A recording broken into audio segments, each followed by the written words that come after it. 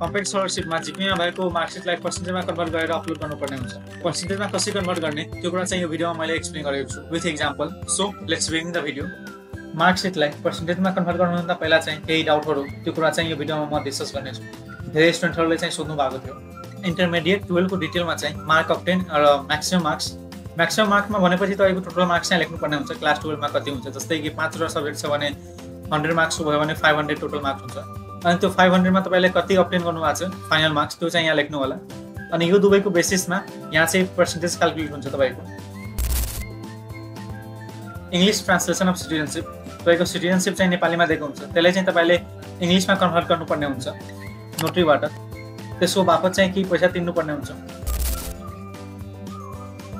Class इलेभेनको स्टुडेन्टले चाहिँ कुन document upload गर्ने? त्यसको लागि चाहिँ तपाईँले कलेजमा गएर भन्नुपर्ने हुन्छ कि म कम्प्युटर स्कलरसिपलाई अप्लाई गर्दैछु अनि मलाई चाहिँ एउटा डकुमेन्ट चाहियो जसमा चाहिँ लेखेको हुनु पऱ्यो कि म यो साल चाहिँ टुवेल्भको इक्जाम चाहिँ दिएको थिएँ अनि म यो कलेजबाट पढ्छु भनेर त्यो सबै कुरा चाहिँ त्यहाँ लेखेको हुनुपर्छ र प्रिन्सिपलको सिग्नेचर हुनुपर्छ।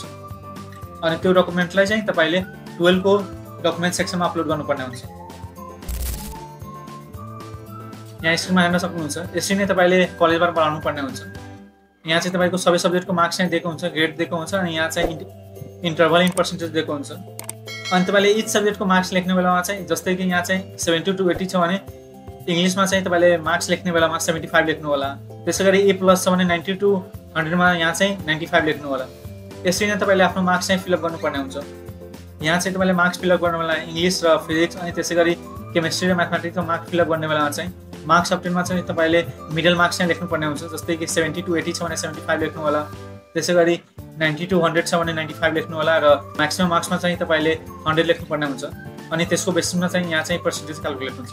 यसरी नै तपाईँले इच सब्जेक्टको डिटेल चाहिँ फिलअप गर्नु होला र यो पनि डिटेल फिलअप गर्नु होला अनि यहाँ आउने टोटल पर्सेन्टेज र तपाईँले सब्जेक्टको सबै मार्क्स जोडेर आउने पर्सेन्टेज चाहिँ इक्वल हुनुपर्छ। त्यो कुरा चाहिँ ध्यान दिनुपर्ने हुन्छ।